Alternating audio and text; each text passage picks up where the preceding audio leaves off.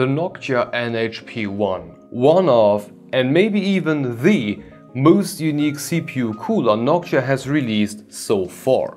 Standing 158mm tall, this thing is one giant block of aluminum composed of 13 1.3mm thick aluminum fins and 6 heat pipes going from the nickel-plated copper base all the way up and through the enormous freaking heatsink. Looking from the top, the sheer size becomes even more impressive because it's almost one big cube. Every fin is about 154 millimeters wide and if you calculate all of them together and add the outsticking heat pipe, including the tip at the end, we end up with about 151 millimeters, making this a perfect cube for people with short-sightedness. It's actually so ridiculously big and heavy that I will need to hold it for the whole review. It's There is no position in, in which it will stand. It's... yeah, I, I just need to keep it like that. But we all know that it's not the size that makes the P1 as impressive as it is. It is the fact that this thing is built from the ground up for passive operation, meaning no fan. Yes, this is Noctua's first and hopefully not last 100% passive cooler. From the surprisingly thick fins capable of withstanding extreme temperatures for a very long time, to the unseen thick gaps in between them, so that the whole cooler is capable of pushing the heat out to the surrounding air without creating any resistance whatsoever, so that the natural heat convection can do its job. Everything about this is passive. But there is more. To maximize air movement, there are additional holes in every fin allowing the air to move through the cooler in whatever orientation it is installed. As Noctua said themselves, no noise, less dust, 100% fail-proof. That is, if you install it correctly. Compatibility-wise, the P1 can be mounted on basically everything thanks to Noctua reusing the same mounting mechanic over and over and over again. From the latest and greatest LGA 1700 we can go all the way back to the older 1150s, 2066 and 2011 for Team Intel. Over on AMD we are looking at the newest AM5 and older AM4s. Inside the usual Noctua styled box we'll not only find the giant cube of aluminum, but also the mounting material and a few extras one of which is the all-new Noctua screwdriver. But don't be too excited yet, because you will only use it for this cooler and this cooler alone and nothing else. Yes, although the installation methods are one-to-one -one the same thing as on any other Noctua cooler right now, this particular one uses hex screws instead of Phillips, which is why Noctua includes the screwdriver for that. And I'm not 100% sure why they did this. I, or my understanding goes that hex screws are in general better. Like they tend to last longer given that you screw them in and out more than once. But everybody sticks to Phillips heads. Like for decades. Nobody cared. Noctua never cared. And now suddenly they do. The only explanation I can come up with is that you can put more force onto the screw without the risk of messing up the screw as fast, but that's just a wild guess. But but hey, at least the screwdriver is very very premium instead of just a simple Allen wrench. Speaking of which, let's go over the installation. On an AM5 we need to remove the pre-installed retention brackets and replace them with Noctua's AMD brackets in an inwards pointing position and the grey spacers in between.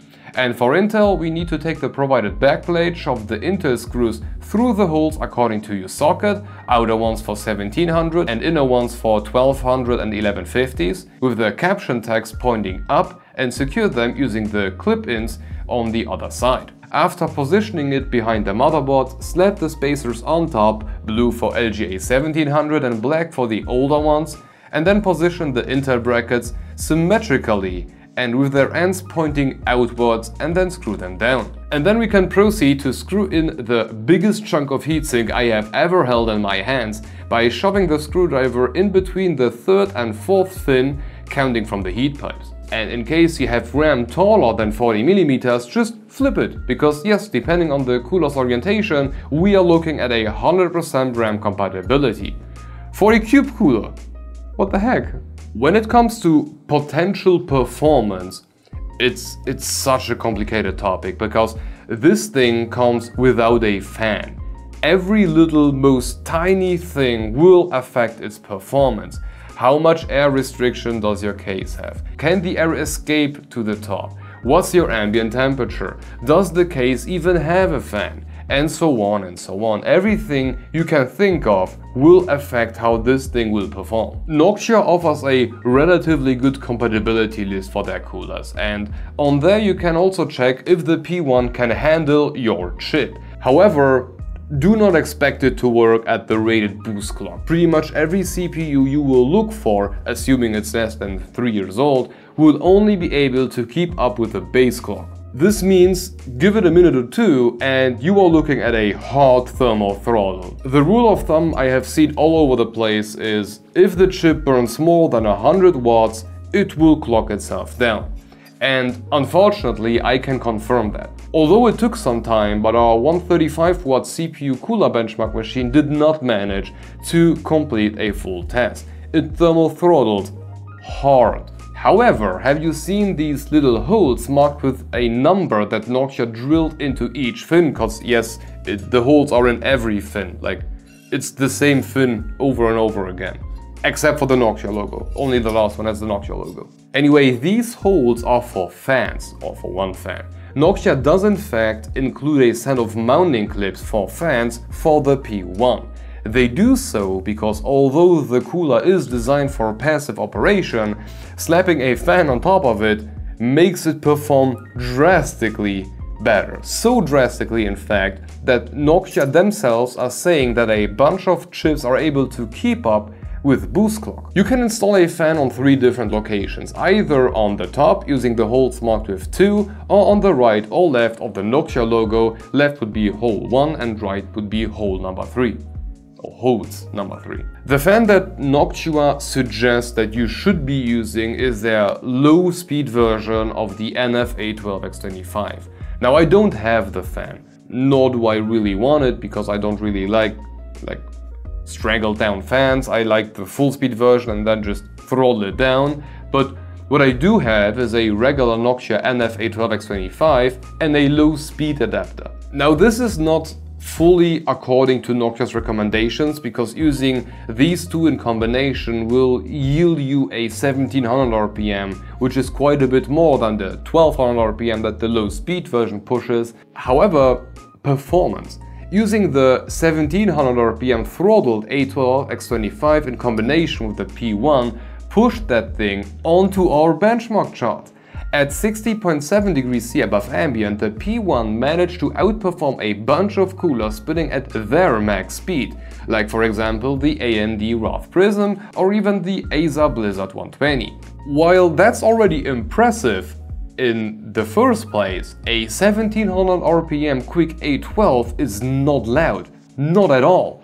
So quiet in fact that the noise to performance ratio outperformed a Montech Air 210, a NHL12S or a Wraith Prism by miles. But don't think we just cracked the code here. Add a Noctua NHD15 to that and uh, yeah, these lines never even touch. The hottest point that a Noctua NHD15 can get at 30% fan speed is far away from the best a P1 with a throttle down A12 could go. But still, this is impressive, so impressive in fact that I just removed the low noise adapter and tried to find out if we can push it even further, and uh, no. As fun as this could have been, there is a good reason Noctua recommends using a 1200 RPM Quick A12X25 in combination with this P1. For a win of 1.1 degrees C above ambient, the noise you are adding is truly not worth it. But because slapping fans onto this thing was so much fun, why stop? So we continued to install randomly chosen fans on the P1 just to find out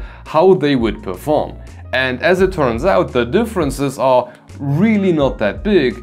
If you look at the fans we have used, it is clear that the P1 favors high airflow fans, but funnily enough, once you go beyond asking and you start to force huge amounts of air through them with like extreme pressure, the benefit will become quite a bit more. Up to 55.8 degrees C to be exact, using a 3000 RPM quick Silentwing 4 Pro. That's 5 degrees less than the 1700 RPM quick A12, which is just interesting to see. Anyway, I I was disappointed by my time with the P1, not because of the cooler. No, this is this thing is awesome. It is you need to know what you are doing, but if you plan everything accordingly and you know the limits of the cooler and you know how your chip will perform or how how it generates heat, you will have a very very silent time followed by a lot of coil whine. No, I just really wanted to somehow position it on my cooler benchmark list. I never expected it to outperform anything, but at least like some value for a passive cooler just for orientation to know where it would stand. And I had an idea. The reason why we stop our benchmark charts at 70 degrees C above ambient is because we have at least 25 degrees C ambient temperature inside of this room. Yes, I know it's ridiculously hot, but about a meter 25 of every room of the studio is beneath ground, so the windows are like glued to the ground level.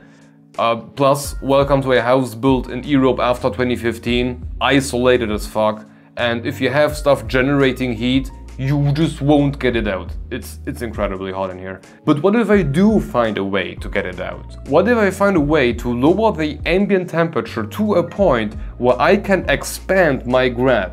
All the numbers are above ambient, so they are still going to be correct, but my hottest point might become reachable without thermal throttling the CPU. So my journey began. First, I tried the legendary technique I learned during my time abroad in Germany, Stoßlüften. But this still wasn't enough, so I installed a bunch of Noctua Industria A14 fans right next to the open window and uh, a fan I found in my parents' basement that looks like my mom still had to buy it with like ration cards back in communist Poland, but that still wasn't enough. So I had to rebuild the air extractor, a device I have invented last summer because I had to stop filming once the spotlights in here heated the room upwards of 30 degrees C. And time for another try. And yes, subtracting the now much lower ambient temperature showed that the P1 can keep a 130 watts workload at 84.8 degrees C